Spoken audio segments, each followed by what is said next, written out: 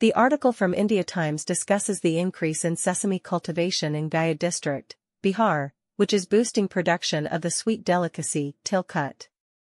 Last year, sesame was cultivated on 632 hectares, expanding to 1,300 hectares this year. This growth is expected to benefit local farmers and tilkut makers in the region, reducing dependency on other states for sesame supply.